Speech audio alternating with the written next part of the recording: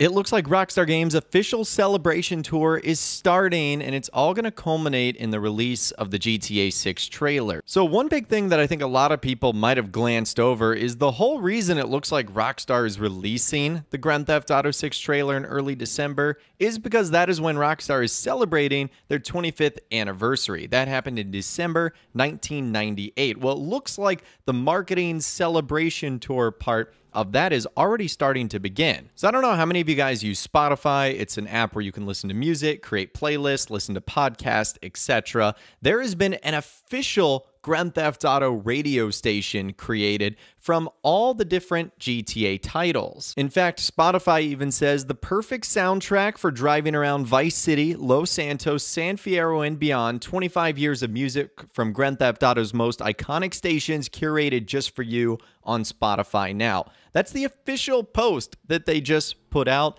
And it looks like Rockstar has a partnership with them, and this could be the lead up to Grand Theft Auto 6. So there is a handful of amazing songs on this playlist from Phil Collins to Kenny Loggins to Elton John, Boston, Pat Benatar, in Chains, Motley Crue, Rage Against the Machines, Billy Idol, and more. There's probably some of your most favorite and popular songs on this playlist. So not only should you just check it out for personal reasons because it'll probably definitely get you in the GTA 6 spirit, but I feel like this is the beginning of Rockstar starting to market for Grand Theft Auto 6. And I guess ultimately the plan is to do 25 years of GTA and Rockstar's anniversary with the Spotify stuff, again, all culminating in the reveal for the new game. And there were early reports that this is something that Rockstar was working on. In fact, we even heard from Rockstar Games insider Tez Funds to chime in on this because someone was asking, so if Sam Houser has to go from the UK to the US to check on the progress of the game,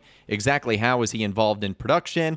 And he said everything has to go through him. He most likely didn't write the letter himself, but he definitely signed it. Also, I don't believe Sam was there the whole month of October. I believe he only flew there like two weeks ago. I don't think he would be there just to sign off on the letter in the email, so I expect him to sign some advertising plans like billboards for what Rockstar Intel heard for the big reveal in December. And I feel like this is all a part of the big reveal in December. More promotion with massive brands like Spotify, giving us sort of a throwback to Vice City and what's to come. So it really does feel like the marketing period for this game has already begun. And even though there's nothing here that says this is directly GTA 6, you have to feel like this is Rockstar getting the wheels in motion and getting prepped for the Grand Theft Auto 6 cycle. And this is just sort of my speculation. If Rockstar has a good working relationship with Spotify, it'd be cool if they had a Spotify like app in GTA 6. I know they technically have one in the GTA series. The app is called Zit.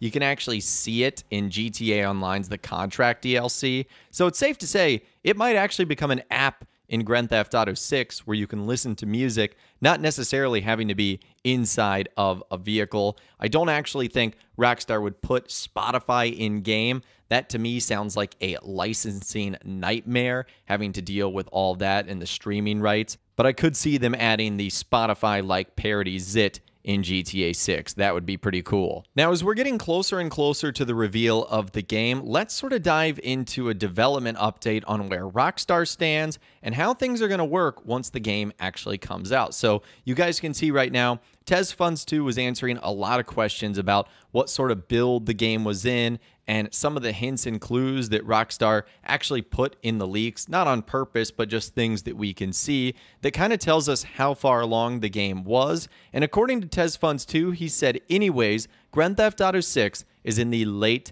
alpha stage. The beta stage would be the six to eight month period before release. We can expect the release to be at most two years away, unless a similar event like COVID happens. Let's please not have that occur. The likely release windows are holiday 2024, spring 2025, and fall 2025 and I'm predicting a spring 2025 release window. So I know that seems crazy to think about, but right now the game is still in the late alpha stage. So that means what we saw in the GTA 6 leaks back in September 2022, that would have been way early alpha stage. So don't fret about the GTA 6 graphics or how unfinished or unpolished things look because as of right now, and the trailer we're going to be getting, it's going to be footage from late alpha. So even things you see in the trailer don't panic. You guys go back to the Grand Theft Auto 4 trailer, GTA 5 trailer, even the early Red Dead Redemption 2 trailers. The games look so much better when they all come out. So do not panic. But that is the stage that the game is currently in. And what happens when the game comes out? A lot of people are talking about DLCs and expansion. As someone said, is single player DLC really that unlikely? I thought reduced base game scope and expansions was one of their anti crunch measures. With TezFunds 2 saying, not really when you factor in that a single player DLC was considered for every title since Grand Theft Auto 4, except GTA 5 and Red Dead Redemption 2 were never followed through due to the focus on online and work already starting on the next title. I don't see why Rockstar wouldn't repeat the same pattern with Grand Theft Auto 6 and then decide to cut or follow through, but this time they may do the latter. And it's more of episodic content, aka expansions, than a single player DLC. They can do them yearly or bi yearly, which would help reduce crunch. So that's the rumor on the street is that the game might not come necessarily with everything unlocked, and Rockstar might release those things a little bit later on, either once a year or twice a year, so that they can reduce crunch on their employees, something that they were criticized of doing with the release of Red Dead Redemption 2. And what does that mean for getting the game on PC on day one? Well, it's not necessarily good news. TezFunds2 said, Never said it's a certainty, and my own speculation is a day one release as well, nor am I a developer or an employee to know what the current state of the PC build is. However, some developers and employees aren't expecting a day one release. That's just an expectation, and it could very much change between now till release. Similarly, the PC build is reportedly falling behind, hence the expectation. Of course, the developers can close the gap anytime from now till release, but what we know for sure is that assuming the technical state doesn't get better, Rockstar isn't going to crunch just to deliver the PC version on day one. And that should come as no surprise considering that's really been the status quo for Rockstar Games in their titles going all the way back to Grand Theft Auto 4. In fact, Red Dead Redemption still to this day isn't even on PC.